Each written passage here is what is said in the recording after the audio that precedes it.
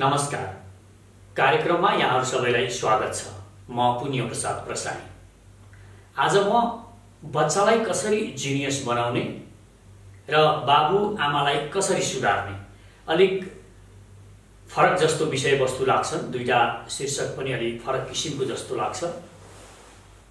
तर यी त्यति तात्विक भिन्नता पनि छैन यिनीहरूमा यी दुई शीर्षकमा। आज यही विषयमा म चर्चा गर्न गइरहेको छु। बच्चालाई सधैँ हामीले कसरी प्रेरित गरिरहने के कुराले बच्चाहरू इन्सपायर हुन्छन् र आफ्नो काम रुचि लागेको विषयमा कसरी अगाडि बढ्छन् यसमा बाबुआमाले अलिक गम्भीर हुन जरुरी छ। हामी एउटा रोटी एउटा रोटी पकाउनलाई हामीले सिक्नुपर्छ। पहिला सिकेर मात्र हामी रोटी बनाउन जान्दछौँ अब बच्चालाई राम्रोसँगले हुर्काउन उसलाई बढाउन र उसलाई जिनियस बनाउनको लागि हामीले निकै कुराहरू सिक्नुपर्ने हुन्छ र जान्नुपर्ने हुन्छ। महान वैज्ञानिक थोमस एल्बा एडिसनको जीवन गाथाको एउटा अंशबाट उनको बाल्यकालको एउटा प्रसङ्गबाट म आफ्नो कुरालाई अलिक स्पष्ट पार्न चाहन्छु। एकपटक एडिसन स्कुलबाट फर्केर आए। फर्केर आउँदा उनको हातमा एउटा चिठी थियो। उनले त्यो चिठी आफ्नो आमालाई दिए। आमाले चिठी हेरिन् र चिठी हेरिसकेर उनी बरर आँखाबाट आँसु झारेर रुन थाले यसरी आमा रोएको देखेर आमाका आँखामा आँसु देखेर एडिसन पनि भावु भएर उनले सोधे मम्मी चिठीमा के लेखिएको छ? किन तपाईँ रुनुभएको? मम्मीले उनकी आमाले भन्नुभयो बाबु यस चिठीमा लेखिएको छ तिमी धेरै जिनियस विद्यार्थी हो। तिम्रो क्षमता अपार छ तिम्रा सम्भावनाहरू अपार छन् तर हाम्रो स्कुल तिमीलाई पढाउनको लागि अयोग्य छ। हाम्रा टिचरहरू पनि तिमी जुन रूपमा सोध्छौ जुन क्षमता तिमीसँग छ त्यसलाई पढाउन सक्ने र बुझ्न सक्ने हाम्रो स्कुलमा टिचरहरू पनि छैन त्यसैले अबदेखि तिमी घरमै बसेर पढ्नु र घरमै बसेर तिमीले आफ्नो शिक्षा हासिल गर्नु र तिमीलाई घरमै पढाउनु भनिएको छ। मम्मीले एडिसनको आमाले एडिसनलाई भन्नुभयो। एडिसन खुसी भए एकदम उत्साहित भए। उनी घरमै पढ्न थाले। उनले जीवनमा निकै दुःख कष्टहरू पनि झेल्नु पर्यो। मम्मीले साह्रै प्रेमले प्रेरित गर्दै उनलाई हुर्काउँदै लगिन् र एक दिन हामीलाई थाहा छ थोमस एल्बा एडिसन एक महान वैज्ञानिक बने। एक दिन रेलमा पत्रिका बेच्ने काम पनि उनले गर्नु परेको थियो। रेलमा पत्रिका बेचिरहेको बेला उनको प्रयोग गर्ने बानी थियो। अनेक अनेक प्रयोग गरिरहन्थे एडिसनले। एक दिन रेलमा आगो लाग्यो। आगो त निभाइयो तर कर्मचारीले उनको कानमा निकै बेजोडले झापु हाने यो हनाइले उनले कान कम सुन्न थाले। तर पनि यो उनलाई फाइदा नै भयो। उनले अनावश्यक कुराहरू बढी सुन्नु परेन। र उनी आफ्नो जुन प्रयोगहरू गरिरहन्थे त्यस्ता प्रयोगमा अझ बढी दत्तचित्त भएर लाग्न थाले। हामीलाई इतिहास थाहा छ। त्यसपछि एडिसनले यति धेरै आविष्कारहरू गरे। यो लाइटको आविष्कार उनले धेरै धेरै आविष्कारहरू गरे र ठुलो व्यापार व्यापारिक साम्राज्य खडा गरे उनले। निकै पैसा पनि कमाए। निकै धनी भए ठुलो व्यापारी भए ठुलो वैज्ञानिक बने जीवनमा।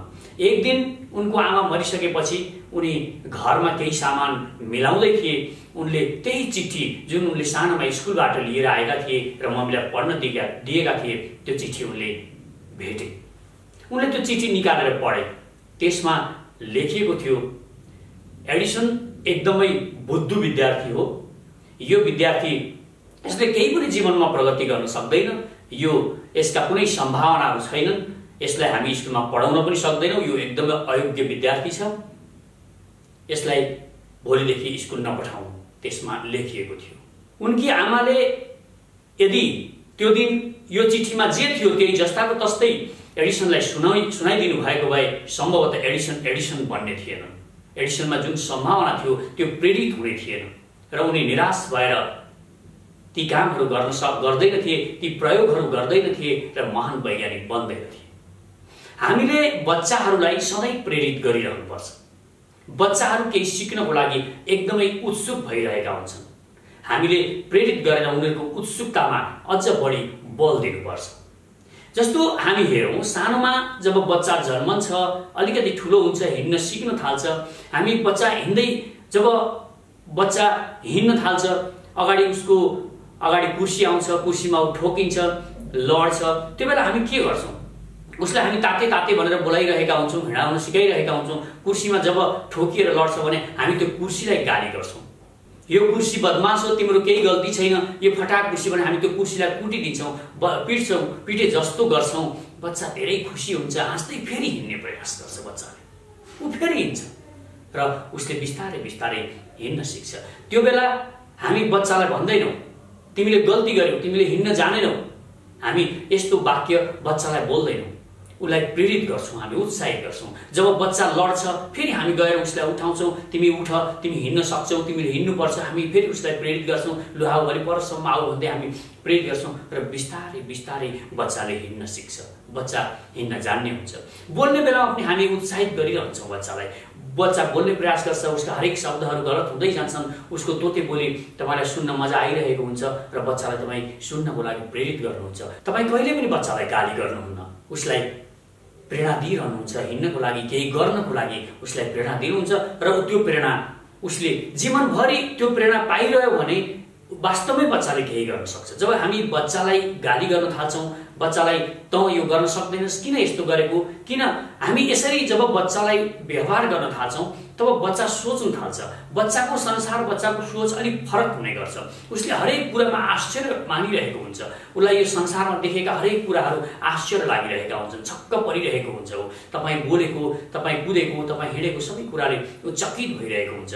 ऊ यो चकित परिरहेको बेला तपाईँले उसलाई केही अचम्मको कुरा केही नयाँ कुरा भनेर उसलाई यसो नगर उसो नगर भनेर रोक्न थाल्नुभयो भने ऊ अझ रोकिँदै जान्छ ऊ निराश भइजान्छ र उसलाई जुन अगाडि बढ्ने बच्चैदेखिको एउटा स्वभाव जुन ओरिजिनल स्वभाव उसमा आउनुपर्ने थियो त्यो हराउँदै जान्छ र ऊ आफूलाई रोक्न थाल्छ। बच्चालाई हामी झुटो नबोल किन झुटो बोलेको भन्छौँ? पहिलो कुरा त बच्चालाई झुटो साँचो के हो नै थाहा हुँदैन। बच्चा तपाईँ बच्चाले सोध्छ झुटो? झुटो पनि केही हुन्छ? बोल्नु त बोल्नु झुटो बाहेक के बोल्नु? बच्चाले तपाईँले बच्चाहरू बोलेको सुन्नुभएको होला उनीहरू छक्काइरहेका हुन्छन् झिस्काइरहेका हुन्छन्। उनीहरू जतिखेर पनि झुटो नै बोलिरहेका हुन्छन् उनीहरूलाई साँचो र झुटोको भेद हुँदैन। हामीले उनीहरूलाई यो दिन्छौँ यो झुटो हो यो साँचो हो भनेर। त्यस कारण बच्चालाई सिकाउँदा बच्चालाई बुझाउँदाखेरि एकदमै प्रेरित गर्ने किसिमले प्रेरणा दिएर भन्नुपर्ने हुन्छ। जब बच्चा अलिकति ठुलो हुन्छ उसका एक्टिभिटी उसका क्रियाकलापहरूमा हामी अलिकता विरोधहरू जनाउन थाल्छौँ। बच्चाले केही गल्ती गर्यो भने हामी यसरी वर्षिन्छौँ अलि हामी गर्जिन थाल्छौँ। मानौ बादल ठुलै भयङ्करै केही कुरा भएको छ। बच्चालाई कहिल्यै पनि त्यस्तो किसिमले व्यवहार गर्नु हुँदैन। बच्चालाई यसरी हामीले एक्कासी आक्रमक तरिकाले सम्झाउन खोज्यौँ भने उनीहरू तपाईँबाट टाढिँदै जान खोज्छन्। टाढिँदै जान्छन् पनि जब बच्चा तपाईँको अगाडि आएर अलिकति ठुलो भइसकेपछि केही कुरा भन्छ तपाईँ उसको कुरा ध्यानले सुनेको हुनुपर्छ। उसले जब तपाईँ सुन्न छोड्नुहुन्छ तपाईँ उसको कुरा उसले केही कुरा भन्ने बित्तिकै जब तपाईँ गाली गर्नुहुन्छ उसले तपाईँलाई कुराहरू सुनाउन छोड्छ। ती कुराहरू जुन उसले सधैँ भन्ने गर्थ्यो ती बिस्तारै बिस्तारै सुनाउन छोड्छ र तपाईँ आज हामी देख्छौँ भने कति बच्चाहरू अलि ठुला हुँदै गएपछि आमा बाबुबाट टाढिँदै जान्छन् उनीहरू घरमा पुग्ने बित्तिकै कोठा ढोका बन्द गर्छन् र एक्लै बस्न मन पराउँछन्। तपाईँसँग कुनै पनि कुरा प्यारेन्ट्ससँग कुनै पनि किसिमको कुरा गर्नै चाहँदैनन् किनभने उनीहरूले केही भन्यो भने तपाईँ गाली गरिहाल्नुहुन्छ हामी गाली गरिहाल्छौँ। यो कारणले उनीहरू अलिक टाढा हुँदै जान्छन्। बच्चालाई नजिक राखिराख्न चाहनुहुन्छ भने तपाईँ एक्कासी बच्चालाई सम्झाउने प्रयास नगर्नुहोस्। उसले केही गल्ती गरेको छ उसको माहौल के छ त्यो पहिला विचार गर्नुहोस् र उसलाई भन्नुहोस् तपाईँ पहिला तिमी गलत छैनौ। कुनै काम गलत कामै गरेर आएको बच्चा भए पनि तपाईँ एकैचोटि सम्झाउन नखोज्नुहोस्। उसलाई भन्नुहोस् तिमी गलत छैनौ तिमी गलत हुनै सक्दैनौ तिमी जुन कारणले यो गरेका थियौ त्यो यस कारणले गरेका थियौ तिमीले गल्ती यो कारणले चाहिँ भएको त्यो काम चाहिँ यस कारणले गल्ती भएको भनेर तपाईँले उसलाई सम्झाउन सक्नुपर्छ। एकैचोटि तपाईँले उसको गलत कुराहरूको सम्झाउन खोजेर गाली गर्न थाल्नुभयो भने तपाईँ ऊबाट टाढिनुहुन्छ। उनी उनीहरू बिस्तारै टाढिँदै जाँदैछन्। त्यसकारण बच्चासँग व्यवहार गर्दाखेरि अलिकता संयमित भएर अलिकता उनीहरूको कुरा बढी सुनेर तपाईँहरू धैर्यपूर्वक उनीहरूको कुरा सुनिदिनु भयो भने बिस्तारै बिस्तारै उनीहरू सबै कुराहरू भन्न थाल्छन् र उनीहरूको भावना बुझिसकेपछि त्यसपछि तपाईँलाई उनीहरूसँग व्यवहार गर्न पनि सजिलो हुन्छ। हाम्रा छोराछोरीहरूबाट गलत हुन सक्छ। उनीहरूले गलत कामहरू गर्न सक्छन्। हामीले पनि गरेका थियौँ। जीवनमा धेरै मानिसहरूले धेरै गलत कामहरू गरेका हुन्छन्। र ती गलतहरूबाटै ती गल्तीहरूबाटै सिक्दै जाने पनि हो। जब हामी बच्चाले गलत गर्छ तब तपाईँले एकपटक गर्छ दुई पटक गलत गर्छ तब तपाईँ लतो छोड्न मिल्दैन तपाईँले। एकचोटि सोचौँ। बच्चा जब सानोमा हिँड्ने प्रयास गर्दै थियो ऊ ढल्यो एकपटक ढल्यो दुईपटक लड्यो तिनपटक लड्यो तपाईँले उसलाई नहिँड्नलाई कहिले गाली गर्नुभयो? ए नहिँड कति लडिरहन्छस् कति ठोकिरहेको? त्यहाँ पनि ठोकिएको छ उहाँ पनि ठोकिएको छ भनेर तपाईँले कहिले गाली गर्नुभयो? कहिल्यै गाली गर्नु भएन बाउ उठ फेरि आऊ। ए तपाईँले उसलाई उत्साहित गर्नुभयो। तपाईँले कहिले गाली गर्नु भएन नि? तपाईँ जब सानामा बच्चाले बोल्न बिगार्यो उसले शब्दहरू राम्रोसँग उच्चारण गर्न जानेन तपाईँले कहिल्यै पनि बच्चालाई गाली गर्नु भएन एउटा बच्चालाई यसरी प्रेरित गर्दै जाने हो। जसरी एडिसनको मम्मीले सानोमा बच्चाले स्कुलबाट निकालेर उनलाई पठाउँदाखेरि त्यहाँ गाली गरिदिएको भए जसरी स्कुलको टिचरहरूले सोचेका थिए त्यही रूपमा एडिसनको आमाले पनि सोचिदिएको भए के हुने थियो? एडिसन एडिसन नै हुने थिएन। त्यसकारण बच्चालाई कसरी प्रेरित गर्ने? यो हामीले यो कला जानेको हुनुपर्छ। हामी कला जानेको नजानेर बच्चाहरूलाई यसरी व्यवहार गर्छौँ कि उनीहरू जीवनमा निराश बन्दै जान्छन्। डिप्रेसनको शिकार हुन्छन्। बिस्तारै आज तपाईँले देख्नुभएको छ बाह्र तेह्र वर्षमै धेरै मानिसहरू धेरै बच्चाहरू बोर भयो भन्न थालिसकेका हुन्छन्। उनीहरूलाई सबै कुरादेखि बोर लाग्न थालिसकेको हुन्छ। उनीहरू यति धेरै कुरा जान्ने सुन्ने बानी परिसकेका हुन्छन् कि उनीहरूलाई सामान्य कुराहरूले पनि असर गर्ने हुन्छ। अर्को एउटा मुख्य कुरा बच्चालाई कहिले पनि नदाँचौँ अर्कोसँग कहिले पनि नदाँचौँ हाम्रो यो एकदमै नराम्रो आदत छ हाम्रा प्यारेन्ट्सहरूमा हामीमा कि हामी उसको बच्चा यस्तो यसको बच्चा यस्तो उसले यसो गरिरहेको छ तैँले चाहिँ यो के गरेको? तिमी यो के गरिरहेका छौ? हामी सबै बच्चालाई अर्को बच्चासँग दाँच्ने गर्छौँ। जब बच्चा खाना खाँदैन हामी ऊ फलानाले कति धेरै खान्छ कस्तो मजाले खान्छ हामी अर्कोसँग दाँच्छौँ जब हाम्रो बच्चा पढ्दैन ऊ फलानाले कति राम्रोसँगले पढिरहेको छ उसले यति राम्रो मार्क्स ल्याउँछ। हामी अर्कोसँग दाँच्छौँ एउटासँग मात्र होइन हामी उसका धेरै एक्टिभिटीहरू दसौँ जनासँग दाँजिरहेका हुन्छौँ। र दाँचेर हामी उसको नक्कली बनाउन उसलाई एउटा नक्कली मान्छे निर्माण गर्न अर्को अर्को जस्तो मान्छे बन्नलाई प्रेरित गरिरहेका हुन्छौँ। अर्को कुरा बच्चालाई कहिले पनि आफ्नो बच्चालाई कहिले पनि अर्को बच्चाहरूसँग अरू मानिसहरूसँग नदाँच्नुहोस् यो एकदमै बच्चाको लागि नकारात्मक भएर जान्छ उनीहरू नक्कली बन्नलाई प्रेरित हुँदै जान्छन्। जब बच्चा खाना खाँदैन तब हामी अर्को अलिक खाना खाने बच्चालाई उदाहरण दिएर भन्छौँ ऊ बच्चाले कति मजाले खाना खान्छ। जब हाम्रो बच्चाले पढ्दैन तब हामी अर्को बच्चालाई देखाएर भन्छौँ एउटै बच्चासँग त सबै गुण हुँदैन। त्यो अर्को जसलाई तपाईँले अर्को बच्चा उदाहरण दिइरहनु भएको छ उसको मम्मीले तपाईँको बच्चालाई एउटा उदाहरण दिइरहेको हुनसक्छ। उसले कति राम्रोले सबै काम गरिरहेको हुन्छ खेलिरहेको हुन्छ आफ्नो लुगाहरू मिलाइरहेको हुन्छ। यता तपाईँको बच्चालाई पनि कसरी उदाहरण दिइरहेको हुन्छ?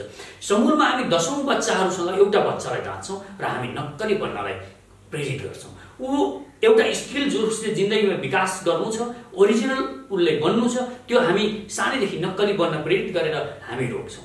एउटा कुरा सदैव याद गरौँ नक्कली चिजको कहिल्यै पनि भाव हुँदैन। जब तपाईँ ओरिजिनल रहन दिनुहुन्छ आफ्नो बच्चालाई तब बच्चा वास्तवमै त्यसले जीवनमा केही विशेष गर्ने क्षमता राख्छ र गर्छ। र बच्चालाई सधैँ यो किसिमले प्रेरित गरौँ। एउटासँग अर्कासँग दाँजेर होइन। मानिलिउँ माछाको भुरालाई उसको मम्मीले एउटा छेपारो देखाएर अथवा चराहरू देखाएर कस्तो मजाले उडिरहेका छन् हेर त तिमीहरूमा योग्यतै छैन। ऊ रुखै चढ्न सक्दैनौ तिमीहरू उड्नै सक्दैनौ भनेर दाँच्ने हो भने त्यो माछाको अभिगत ती बच्चा भुराहरूको अभिगत के हुन्छ? त्यसरी दाँचेर हामी आफ्नो जुन क्षमता छ त्यसमा विकास त्यो विकास गर्न रोकिरहेका छौँ। उनीहरू अर्को हुने जस्तो लाग्छ। उनीहरू उनीहरू अर्को जस्तो हुन खोज्छन्। यसले उनीहरूको जीवनमा असर गरिरहेको हुन्छ। त्यसकारण बच्चालाई कहिल्यै नदाजौँ। अर्कोसँग कहिल्यै पनि नदाजौँ। उनीहरूलाई आफू जस्तो ओरिजिनल हुनलाई प्रेरित गरौँ। उनीहरू जे छन् त्यस त्यसको उनीहरूको जुन क्षमता छ त्यो खोजौँ र त्यसैमा हामीहरूले उनीहरूलाई प्रेरित गऱ्यौँ भने वास्तवमै बच्चाहरू जिनियस बन्छन्। उनीहरू यो आफूले चाहेको कुरा प्राप्त गर्ने लक्ष्य दिने कुराहरू हामीले सानैदेखि उनीहरूलाई सिकायौँ भने यो जिनिसपना उनीहरूमा आउँछ र उनीहरू नक्कली बन्न अस्वीकार गर्छन्। र अर्को एउटा महत्त्वपूर्ण कुरा बच्चालाई तपाईँ आफ्ना बालबालिकालाई आफ्ना छोराछोरीलाई कहिल्यै पनि तपाईँ नराम्रो शब्दको प्रयोग नगर्नुहोस्। तपाईँ बच्चालाई त बुद्धु छस् त केही पनि जान्दैनस् त लठुवा। यो के गरेको यस्ता शब्दहरूको कहिल्यै प्रयोग नगरौँ। बच्चाहरू यो शब्दलाई एकदमै उनीहरूको मनमा उनीहरूले लिने गर्छन्। जब यो शब्द अवचितमा गढिन्छ उनीहरू वास्तवमै त्यस्तै म आफूलाई बुद्धै हुँ कि क्या हो भन्ने ठान्न थाल्छन्। जसरी एडिसनको आमाले एडिसनलाई तिमी एकदमै चलाक बच्चा छौ तिमी एकदमै जिनियस बच्चा छौ भनेर सम् भन्नुभयो। यस्तो भनेका छन् तिमीले टिचरले भनेर भन्नुभयो। तब उहाँ त्यो बच्चा एडिसनमा एउटा प्रेरणा जागेर आएको थियो। त्यसरी नै तपाईँले बच्चाहरूलाई प्रेरित गरिरहनुहोस् हर वखत उनीहरूलाई जिनियस बन्ने तिमी राम्रो छौ भन्ने तिमीसँग यो क्षमता छ भन्ने कुरा उनीहरूलाई भनिरहनुहोस् यसले बच्चाहरू तपाईँसँग नजिक पनि हुन्छन्। अर्को कुरा उनीहरूलाई एउटा प्रेरणा पनि मिल्छ। म केही गर्न सक्ने रहेछु। वास्तवमा मेरो मम्मीले यसो भन्नुभएको थियो। म गर्न सक्छु अरे। उनीहरूलाई विश्वास पहिला हरै भन्दै जान्छन् र बिस्तारै उनीहरूमा यो बानीको विकास हुन्छ र उनीहरू चाहेको कुरा प्राप्त गर्न सक्ने बन्दै जान्छन्। र अन्त्यमा बच्चालाई गाली गर्नु अघि बच्चालाई बच्चाको गल्तीको बारेमा तपाईँले गाली गर्नु या सम्झाउनु अगाडि उसले के गल्ती गरेको हो? किन उसलाई गाली गरियो? किन उसलाई सम्झाउनु परिरहेको छ? यो कुराको जानकारी बच्चालाई हुनुपर्छ। जब कहिलेकाहीँ त बच्चालाई जब तपाईँ पिट्नुहुन्छ यसो केही गरेकोमा पिट्नुहुन्छ त्यो बच्चालाई थाहा पनि हुँदैन। मैले के गरेको थिएँ भन्ने पनि थाहा हुँदैन। मलाई मेरो मम्मीले किन पिटेको होला? मलाई मेरो मम्मीले किन गाली गर्नु भइरहेको छ? उसलाई यो पनि थाहा हुँदैन। त्यसकारण बच्चालाई तपाईँ सम्झाउनुहोस्। सम्झाउनु अगाडि उसले के एक्टिभिटी गरेको थियो त्यो कुरा बच्चालाई भन्नुहोस्। तिमीले यो गरेको थियो यो गल्ती यो अबदेखि चाहिँ नगर है तपाईँ उनलाई सम्झ र बच्चालाई एउटा कुरा राम्रोसँगले तपाईँले सम्झाउनु भयो भने ठुलाले भन्दा बढी बच्चाले मान्छ। तपाईँले आफ्नो तर्क दिएर उनीहरूको भाषामा उनीहरूको स्तरमा सम्झाउनु पर्ने हुन्छ। तपाईँ आफू जुन तरिकाले सोच्नुहुन्छ त्यो तरिकाले बच्चालाई सम्झाउन थाल्नुभयो भने त बच्चाले सम्झिँदैन।